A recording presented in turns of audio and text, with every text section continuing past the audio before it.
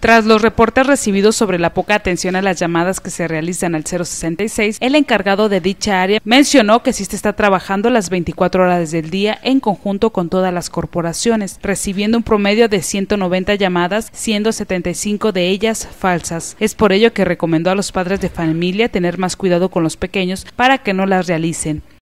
No, el 066 está funcionando hasta el momento. Hasta este momento está funcionando muy bien, en coordinación con todas las corporaciones estatales, federales y municipales.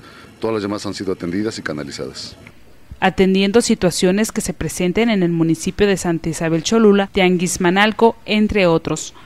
Todas las llamadas se atienden eh, momentáneamente. Hay mucha carga de trabajo. Momentáneamente hay muchos servicios, tanto policía municipal, como ambulancias, ¿no? Llámese la ambulancia, la Alfa 10, denominada Alfa 10, que es de 066, como de Cruz Roja, así mismo como la de rescate, ¿no? Eh, que nos apoyan. Eh, todas en su momento han sido canalizadas. Es verdad que tenemos a veces saturación de llamadas, eh, pero todas se han canalizado, todas se han dado su cumplimiento.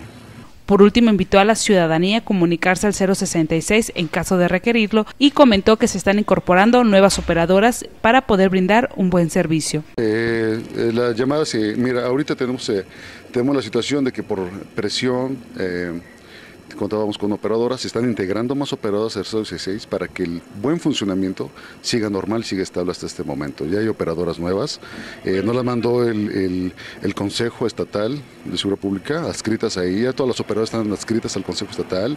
Eh, tenemos dos compañeras nuevas, eh, se están, están en prácticas y están adscritas de, antemano aquí a 016, pero están en prácticas. ¿Para qué? Para que el 016 siga con su buen funcionamiento hasta el momento y como ha sido hasta el día de hoy.